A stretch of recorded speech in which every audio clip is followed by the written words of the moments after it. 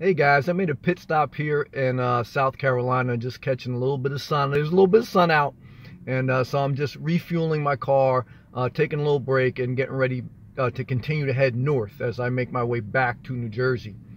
Uh, two thoughts that I want to share with you. One is that last year uh, was a lot harder driving down. That was my first time last year driving from New Jersey to Florida.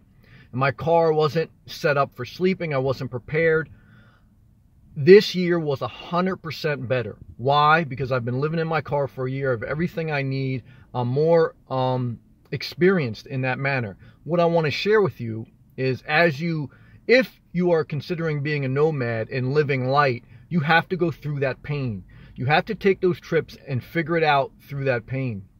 This year was 100% better. Uh, I took my time. I'm not in a rush. Uh, the sleeping setup is is all all ready for me, etc.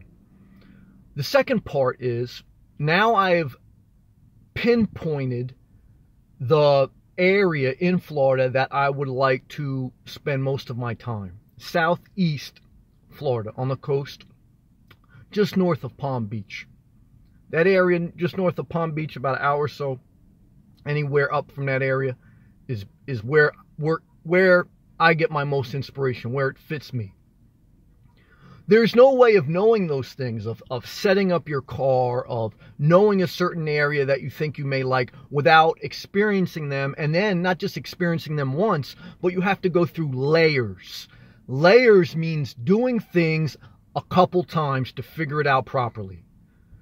You do not get a full feel for things the first time. You have to do them twice, three times, etc.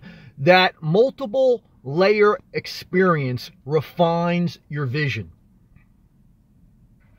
Initially, when you're ready for change in life, you know, God will birth a vision inside your spirit. There'll be something gnawing at you that there's there's a promised land, there's something more for you in life.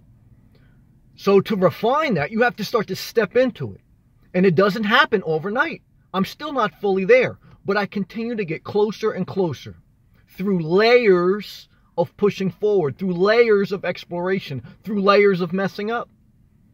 So, what I want to encourage you is whatever your vision is for you, I'm just sharing mine. Take the steps, mess up, do it a few times, and continue. Continue to refine the vision. There is no substitute for that experience. There's no substitute for going out there and doing it. And it takes time multiple years now I'm working on this vision. I'm, I'm, I'm getting closer and closer, so I feel a lot more at peace, a lot more, you know, settled because I'm pretty much there. I mean, just working out a few kinks that to get full time where I need to be. But initially, you're going to have a lot of anxiety because there's a lot to do. Take it in layers. Take small chunks out of the vision and keep going forward and refine it as you go. Stay inspired.